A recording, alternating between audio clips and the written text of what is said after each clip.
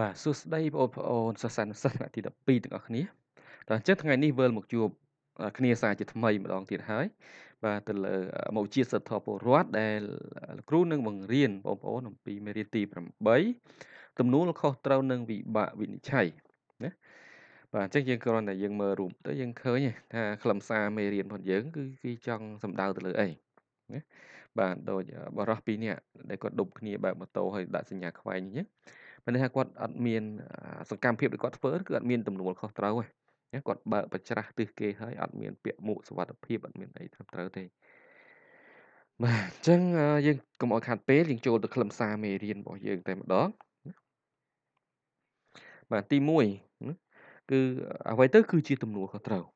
បាទពាក្យថាទំនួលខុសត្រូវគឺជាកាតព្វកិច្ចដែលត្រូវធានារ៉ាប់រងរាល់អំពើទាំងឡាយដែលខ្លួនបានធ្វើ ដោយហ៊ានទទួលសារភាពនិងហ៊ានទទួលនៅផលវិបាកចំពោះមុខខ្លួនឯងនិងចំពោះមុខច្បាប់សង្គមផងដែរអញ្ចឹងមានន័យថាទំនួលខុសត្រូវគឺជាកិច្ចការដែលយើងត្រូវតែធ្វើជាដាច់ខាតណាដែលឬក៏យើងនិយាយថាទំនួលខុសត្រូវគឺជាការទទួលខុសត្រូវរាល់អំពើដែលយើងបានធ្វើអញ្ចឹងមិនថាអំពើយើងធ្វើនឹងកើតឡើងដោយចេតនាឬអចេតនានេះគឺយើងត្រូវតែហ៊ានទទួលហ៊ានសារភាពហ៊ានរ៉ាប់រងរាល់ទង្វើដែលយើងបានធ្វើហ្នឹង ណាយើងទី1គេថាជាការទទួលចំពោះមុខខ្លួនឯងមានថាដូចជាយើងចេះស្ដាយក្រោយមានវិបដិសេរីមានអីចេះដឹងកំហុសដោយខ្លួនឯងហើយមួយទៀតគេថាជាការទទួលខុសត្រូវនឹងចំពោះច្បាប់សង្គមអញ្ចឹងបើយើងធ្វើនៅអំពើណាដែលបំពានច្បាប់ឧទាហរណ៍ថាយើងជិះម៉ូតូយើងជិះម៉ូតូអត់ពាក់មួកសុវត្ថិភាពបើយើងធ្វើនឹងគឺខុសច្បាប់ហើយគឺបំពានច្បាប់ហើយអញ្ចឹងទទួលខុសត្រូវចំពោះច្បាប់សង្គមគឺអីត្រូវរងការផាកផាកវិន័យអញ្ចឹងព្រោះណា តើទំនួលខុសត្រូវនឹងមានប៉ុន្មានបែបហើយអ្វីខ្លះទំនួលខុសត្រូវគឺមាន2បែបណាទី1គឺទំនួលខុសត្រូវផ្នែកសិលធម៌ហើយនឹងទី2ទំនួលខុសត្រូវផ្នែកសង្គមបាទទំនួលខុសត្រូវផ្នែកសិលធម៌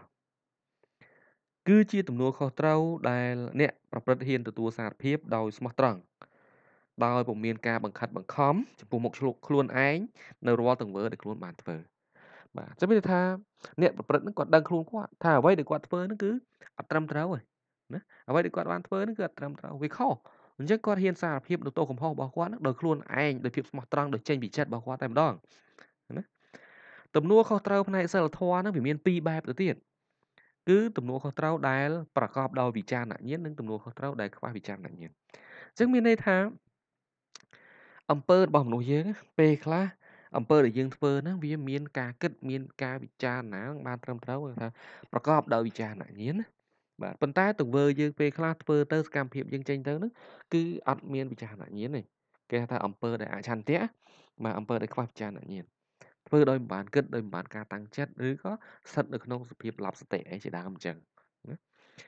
បាទអញ្ចឹងទំនួលខុសត្រូវប្រកបដោយវិចារណញ្ញាណមានន័យថា អ្នកដែលប្រព្រឹត្តអំពើហ្នឹងគាត់ដឹងច្បាស់ដល់ខ្លួនគាត់ថាគាត់ធ្វើអីហើយផលដែលធ្វើក្រោយពីធ្វើអំពើហ្នឹងវាចេញមកបែបណាអញ្ចឹងគាត់ស្គាល់អំពីតម្លៃនៃសិលធម៌ច្បាស់ហើយណាបាទអញ្ចឹងគាត់ត្រូវតែទទួលសារភាពនៅរាល់កំហុសដែលគាត់បានធ្វើហ្នឹងណាដោយខ្លួនគាត់ចំណែកឯទំនួលខុសត្រូវដោយខ្វះវិចារណញ្ញាណវិញមានន័យថាអ្នកប្រព្រឹត្តហ្នឹងអត់ដឹងថាខ្លួនឯងត្រូវធ្វើអីទេអត់មានសិទ្ធិនិងសេរីភាពក្នុងការសម្រេចចិត្តទេណាបាទហើយ ក៏គេមិនចាត់ទុកថាជាការទទួលខុសត្រូវផងដែរបាទដូចជានៅក្នុងរូបនេះបងយើងឃើញហើយថាគាត់បើកបរណាគាត់បើកបរយើងមើលការដឹកតំណែងមិនគាត់គឺកម្ពស់ហួសពីត្រង់ហើយមានមនុស្សជិះនៅលើនឹងទៀតបាទនេះគ្រាន់តែជារូបតំណាងខ្ញុំមិនចង់សំដៅទៅលើបុគ្គលណាម្នាក់ទេបាទអញ្ចឹងវាគ្រាន់តែជារូបតំណាងបាទដែលបង្ហាញថាទង្វើដែលគាត់ធ្វើណា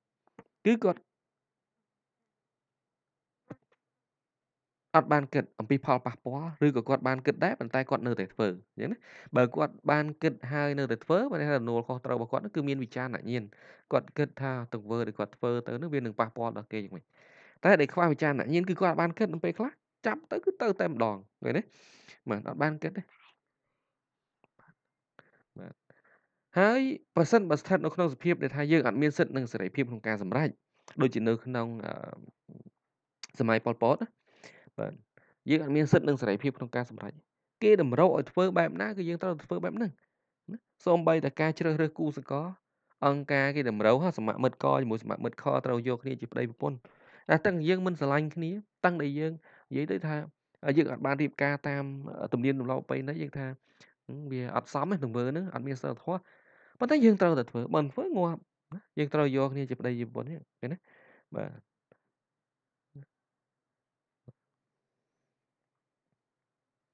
បាទនេះបង្ហាញឲ្យយើងដឹងអំពីទំនួលខុសត្រូវដែលខ្វះវិចារណៈ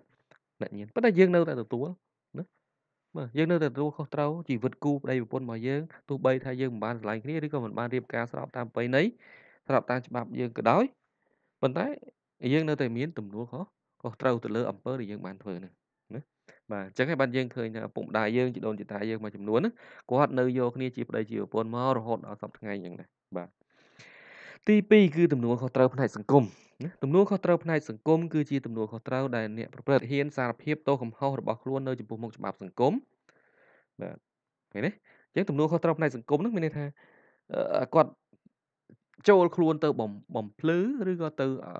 ទទួលទោសចំពោះច្បាប់សង្គម ឬក៏គាត់មិនបានចូលខ្លួនទៅទទួលទោសហើយប៉ុន្តែច្បាប់ឬក៏សមត្ថកិច្ចឬក៏តឡាការសម្រេចថាគាត់មានទោសចឹងគាត់ក៏ត្រូវតែទទួលទទួលទោសទាំងអស់នឹងផងដែរនេះគេហៅថាទំនួលខុសត្រូវផ្នែកផ្នែកសង្គមដែលទំនួលខុសត្រូវផ្នែកសង្គមហ្នឹងគេចែកចែងជា2ដែរណាគេចែកចែងជា2ដូចគ្នានឹងទំនួលខុសត្រូវសិលធម៌ដែរទី1គឺថាទំនួលខុសត្រូវផ្នែករដ្ឋបវេនីហើយនឹងទី2នោះគឺទំនួលខុសត្រូវផ្នែកព្រហ្មទណ្ឌ បាទអញ្ចឹងតើទំនួលខុសត្រូវផ្នែករដ្ឋបវេនីហ្នឹងវាមានលក្ខណៈអញ្ចឹងណាបាទទំនួលខុសត្រូវផ្នែករដ្ឋបវេនីហ្នឹងគឺជាទំនួលខុសត្រូវមួយដែលអ្នកប្រព្រឹត្តហ្នឹងមានលក្ខណៈដាច់ខាតឬក៏មិនដាច់ខាតឃើញទេបាទជាទំនួលខុសត្រូវមួយដែលអ្នកធ្វើសកម្មភាពហ្នឹងវាមានលក្ខណៈដាច់ខាតឬក៏មិនដាច់ខាតអញ្ចឹងសួរថាអត្តន័យនេះចង់មានន័យថាយ៉ាងម៉េចណាមានន័យថា ទំនួលខុសត្រូវផ្នែករដ្ឋប្រវេណីចំពោះច្បាប់សង្គមវាមានលក្ខណៈដាច់ខាតត្រូវតែសងត្រូវតែទទួលឬក៏មិនត្រូវតែទទួលណាត្រូវតែចេញការខូចខាតឬក៏មិនចេញបាទដូចខ្ញុំដាក់រូបបង្ហាញអញ្ចឹងឧទាហរណ៍ថាយើងបានធ្វើកែវឲ្យបែកកែវរបស់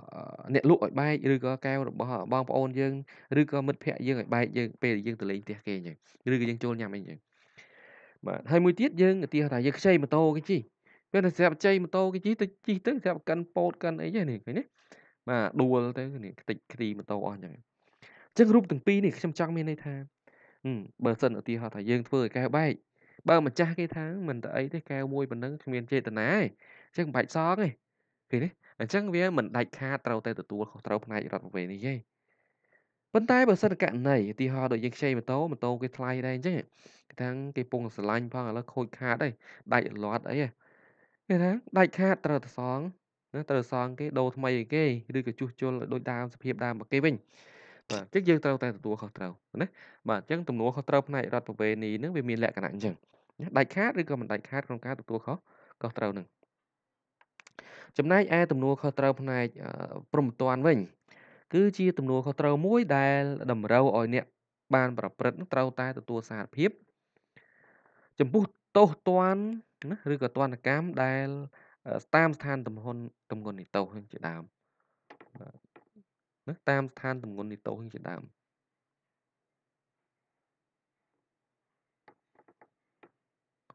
បាទអញ្ចឹងឥឡូវវាមានវាមានលក្ខណៈយ៉ាងម៉េចវាមានលក្ខណៈយ៉ាងម៉េចឬក៏មានអត្ថន័យយ៉ាងម៉េចចំពោះទំនួលខុសត្រូវផ្នែកព្រមត្តហ្នឹងបាទកន្លែងនេះគឺមានន័យថា បើសិនបើទម្ងន់ទោស ឬក៏ការប្រព្រឹត្តរបស់យើងណា កម្រិតស្រាលអញ្ចឹងទៅក៏ទោសយើងស្រាលទៅណាកម្រិតធ្ងន់ក៏វាវាធ្ងន់ទៅមើលតាមតាមស្ថានភាពជាក់ស្ដែងនៃអំពើដែលយើងបានធ្វើនឹងឯងបាទហើយទំនួលខុសត្រូវហ្នឹងយើងឃើញហើយការដាក់ទណ្ឌកម្មហ្នឹងគឺវាមានដូចជាបទល្មើសណាការស៊ីសោកអីចឹងទៅនេះបាទបើត្រឹមបត់លហុអីចឹងណាត្រឹមតែការផាកពិន័យដូចជាយើងធ្វើទៅវាអត់ អត់គ្រប់ច្បាប់ចរាចរណ៍យើងអត់ពាក់មួកអត់ដាក់កញ្ចក់ដាក់អីត្រឹមត្រូវអញ្ចឹងណាត្រឹមផាកពិន័យចឹងទៅហើយបើសិននៅលើហ្នឹងដល់លក្ខណៈលួចឬក៏ប្លន់នៃសម្លាប់អីចឹងទៅក៏យើងជាប់ពន្ធនាគារអញ្ចឹងទៅបាទអញ្ចឹងវាអាស្រ័យទៅលើស្ថានភាពជាក់ស្ដែងនៃបទល្មើសរបស់យើងម្នាក់ម្នាក់បាទហើយធម្មតាការដាក់ទណ្ឌកម្មហ្នឹងគឺគេមិនចេះតែដាក់ទណ្ឌកម្មទេ ណាគេមើលទៅលើស្ថានភាពនៃទោសកំហុសរបស់យើងម្នាក់ៗហ្នឹងគួបផ្សំជាមួយនឹងលក្ខខណ្ឌឬក៏កត្តាសីលធម៌ណាកត្តាសិទ្ធិគេមើលអំពីដើមហេតុនៃនៃអំពើដែលយើងប្រព្រឹត្តនឹងផងដែរថាយើងមានចេតនាឬក៏អចេតនាណាមានចេតនាឬក៏យើងអត់មានចេតនាអញ្ចឹងបើសិនជាអំពើមួយឧទាហរណ៍ថាយើងសម្លាប់អញ្ចឹងបើករណីដែលថាយើងអត់មានចេតនាក្នុងការសម្លាប់ទេអញ្ចឹង ថាអំពើហ្នឹងកើតឡើងដោយសារអចេតនាយើងការពារខ្លួនអីចឹងទៅអញ្ចឹងស្ថានទោសរបស់យើងហ្នឹងក៏វាថយទៅតាមអំពើណាអំពើដែលយើងបានធ្វើហ្នឹងអញ្ចឹងបើគេថាទៅតាមស្ថានទម្ងន់នីទោសនោះឯងតើទំនួលខុសត្រូវផ្នែកសង្គមនិងទំនួលខុសត្រូវផ្នែកសិលធម៌ហ្នឹងវាមានទំនាក់ទំនងជាមួយគ្នាយ៉ាងដូចម្ដេចបើយើងមើលអំពីស្ថានទំនាក់ទំនងគ្នាវិញគឺយើងឃើញថាទំនួលខុសត្រូវផ្នែកសង្គម ដែលមានចែងនៅក្នុងច្បាប់ហ្នឹងគឺការអនុវត្តច្បាប់តែងតែគិតដល់គោលការសិលធម៌ណាយកមកធ្វើជាមូលដ្ឋានបាទទំនួលខុសត្រូវផ្នែកព្រហ្មទណ្ឌមិនមែនគ្រាន់តែធ្វើការវិភាគទៅលើការខូចខាតដែល គេមើលឃើញជាក់ស្ដែងនោះទេ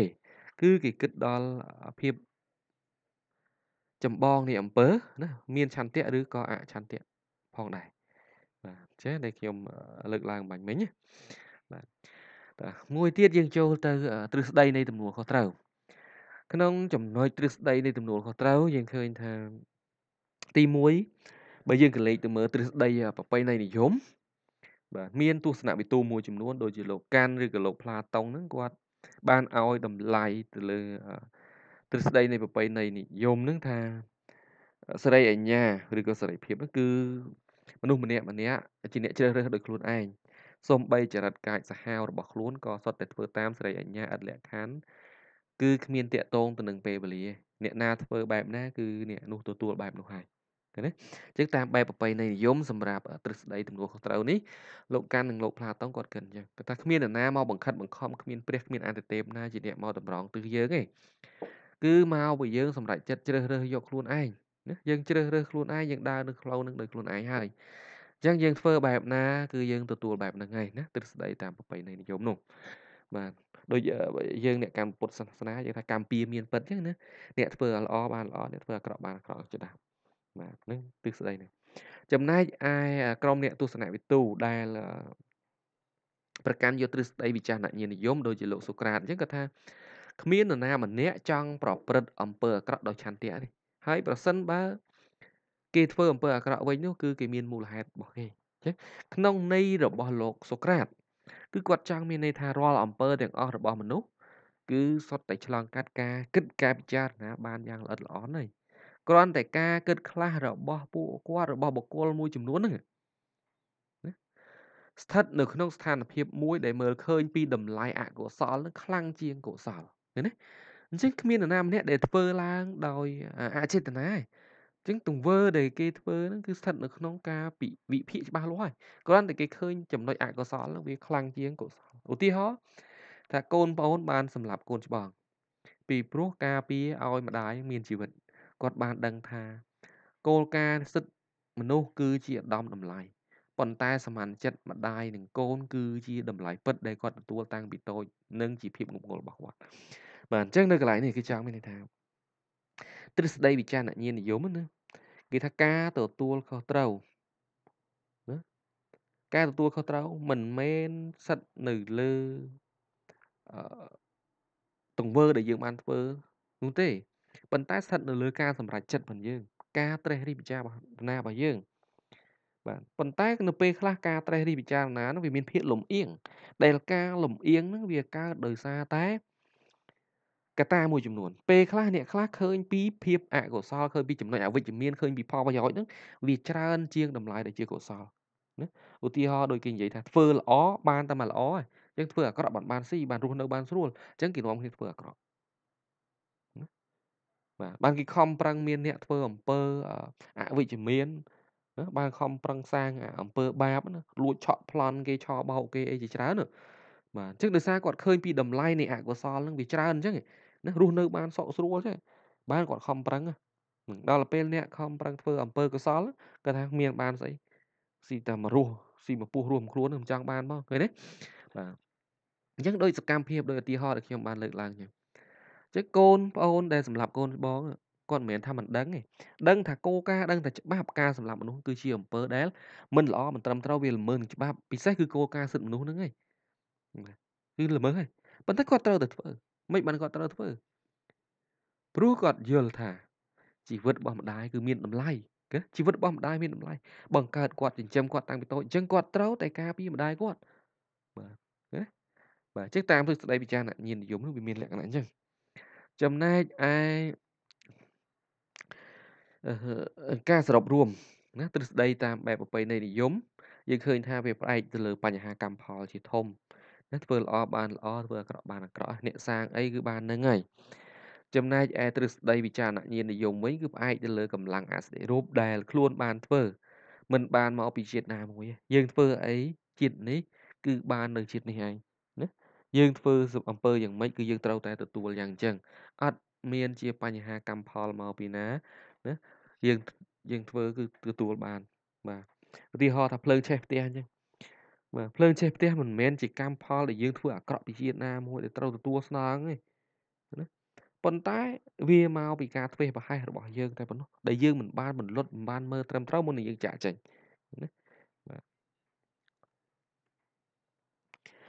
បាទមួយទៀតយើងនិយាយអំពីវិបាកវិនិច្ឆ័យវិបាកវិនិច្ឆ័យបើយើងក៏លេចទៅមើលពីអត្ថន័យវាវិញគឺ មានន័យថាជាការឲ្យរង្វាន់ឬក៏ជាការដាក់ទណ្ឌកម្ម ដល់អ្នកដែលបានប្រព្រឹត្តតាក់ទងទៅនឹងផ្នែកសិលធម៌ទាំងអស់នោះបាទនិយាយឃើញទេអញ្ចឹងបើសិនបើគេធ្វើនៅអំពើល្អដូចរូបទី1គឺគេសរសើរសរសើរថាគាត់ហ៊ានលះបង់គាត់ដើរប្រមូលគាត់ធ្វើនៅអំពើល្អគាត់សម្អាតបរិស្ថានណាអញ្ចឹងលទ្ធផលនៃការវិនិច្ឆ័យហើយដល់ពេលរូបទី2ការដាក់ពន្ធនាគារដាក់ទោសទណ្ឌគាត់នេះដោយសារតែលទ្ធផលនៃការវិនិច្ឆ័យនៃអំពើរបស់គាត់ដែលគាត់ធ្វើមិនមានសិលធម៌ ណាគាត់ធ្វើនៅអំពើអាក្រក់ដែលខុសច្បាប់អញ្ចឹងគាត់ត្រូវតែទទួលទោសណាដាក់ទណ្ឌកម្មបាទនេះជាអត្ថន័យនៃពាក្យថាវិបាកវិនិច្ឆ័យនេះវិបាកវិនិច្ឆ័យវាមានប្រភេទផ្សេងផ្សេងគ្នាណាទី1គឺវិបាកវិនិច្ឆ័យផ្នែកសិលធម៌វិបាកវិនិច្ឆ័យផ្នែកសិលធម៌ហ្នឹងគឺជាការវិនិច្ឆ័យរាល់ទង្វើដែលបានធ្វើ ដែលបានប្រព្រឹត្តកន្លងមកហើយនឹងជា ការទទួលខុសត្រូវប្រកបដោយវិចារណញាណដោយផ្អែកលើសិលធម៌ជាធំណាឧទាហរណ៍ដូចជាទង្វើមិនគប្បីរបស់យើងដែលធ្វើទៅលើអ្នកមានគុណណា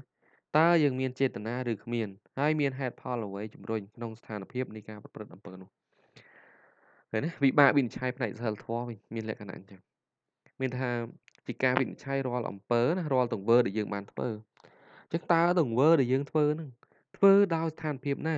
ធ្វើដោយដឹងខ្លួនឬក៏មានវិចារណញ្ញាណឬក៏មិនមានវិចារណញ្ញាណធ្វើដោយការបង្ខិតបង្ខំឬក៏ដោយសភាពលប់សតិអីជាដើមបាទអញ្ចឹងជាការវិនិច្ឆ័យទៅលើអំពើណាអំពើដែលគិតទៅលើគោលការណ៍នៃសិលធម៌គិតទៅលើឫសគល់នៃអំពើនឹងឯងចំណែកឯទី2គឺវិបាកវិនិច្ឆ័យផ្នែកសង្គម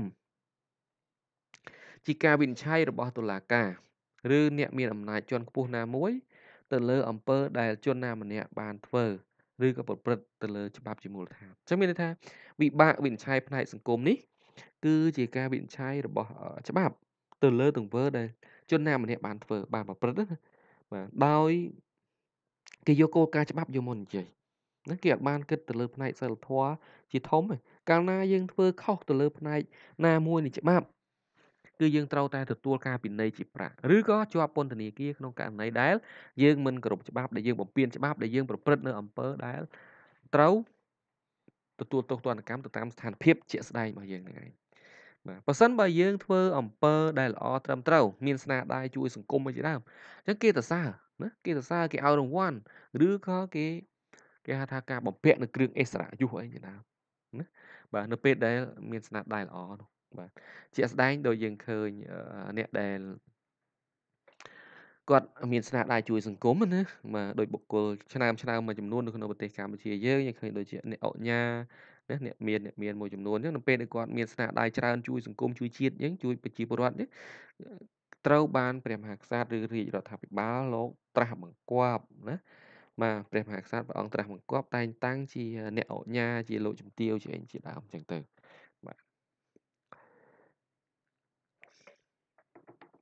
ចំណែកឯទ្រឹស្ដីវិបាកវិនិច្ឆ័យវិញណាបាទបែរថាផលដែលបានទទួលតែគេយល់ឃើញមិនបានមនុស្សហ្នឹងគាត់ទទួលការវិនិច្ឆ័យការកាត់ក្តីបែបហ្នឹងទី1គឺអឺវិបាកវិនិច្ឆ័យតាមបែបប្រពៃណីណាទ្រឹស្ដីនៃវិបាកវិនិច្ឆ័យតាមបែបប្រពៃណីគាត់ថាការកាត់ក្តីណាលទ្ធផលនៃការកាត់ក្តីណាការយល់ឃើញតាមបែបទ្រឹស្ដីប្រពៃណីហ្នឹងគាត់ថាមកពីអឺ ចេតនារំនៃអ្នកធ្វើផ្អែកយ៉ាងស្រុងទៅលើសេរីអាជ្ញារបស់បុគ្គលម្នាក់ម្នាក់បាទអញ្ចឹងអ្នកឯងធ្វើអាក្រក់យ៉ាងណាគេត្រូវតែដាក់ទោសអ្នកឯងទៅតាមហ្នឹងហើយដោយគេយកគំនិតឬក៏ទំនៀមទម្លាប់ប្រពៃណីនៅក្នុងសង្គមនីមួយៗហ្នឹងយកមកធ្វើការដាក់ទោសទៅលើអ្នកឧទាហរណ៍ណាដូចជាអ្នករៀនមន្តអាគមអាបធ្មប់អីជាដើមអញ្ចឹងគឺគេចាប់បានគេចងដុតចោលទាំងរស់ហើយជាដើមឃើញទេអញ្ចឹងគេផ្អែកលើគោលការណ៍នៃទំនៀមទម្លាប់ប្រពៃណីនៅក្នុងតំបន់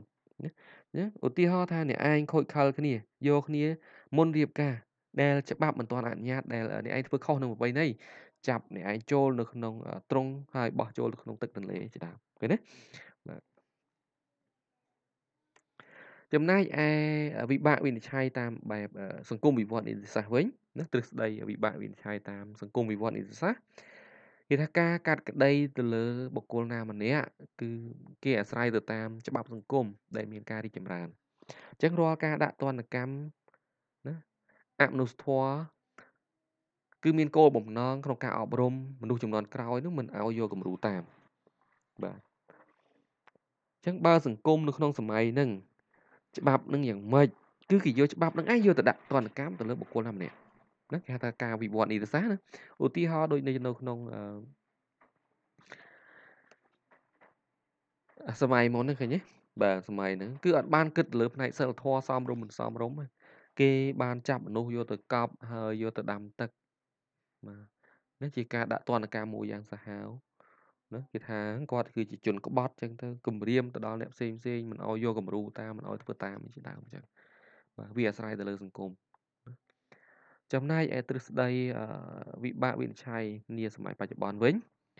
គឺជាការវិនិច្ឆ័យមួយដែលគោរពច្បាប់ជាគោលការណ៍សិទ្ធិមនុស្សជាចម្បងគិតពីបញ្ហាសិលធម៌ណាគិតពីហេតុផលនៃជំរុញនៃអំពើការដាក់ទណ្ឌកម្មនៅក្នុងសម័យបច្ចុប្បន្នគឺអត់មានការដាក់ដោយសហប្រេយផ្សាយខុសខើទេ គឺគិតទៅលើកត្តាសិលធម៌ជាធំគ្រប់គោលការណ៍នៃសិទ្ធិមនុស្សដោយគ្រាន់តែដកហូតនៅសិទ្ធិសេរីភាពមិនមានការដាក់ទណ្ឌកម្មរហូតដល់ស្លាប់អីទេ ណា ដោយ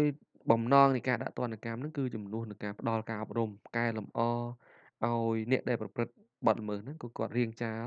ឲ្យគាត់កែមកជាមនុស្សល្អឡើងវិញ ហើយក៏ជាការគម្រាមណាទៅដល់ជនដែលមិនគ្រប់ច្បាប់មួយចំនួនហ្នឹងឲ្យគាត់ខ្លាចហើយនឹងមិនអនុវត្តតាមបុគ្គលមួយចំនួនទាំងអស់នោះផងដែរបាទអញ្ចឹងខ្លឹមសារនៅក្នុងមេរៀនទី8របស់យើងគឺសូមបញ្ចប់នឹងណាសូមអរគុណ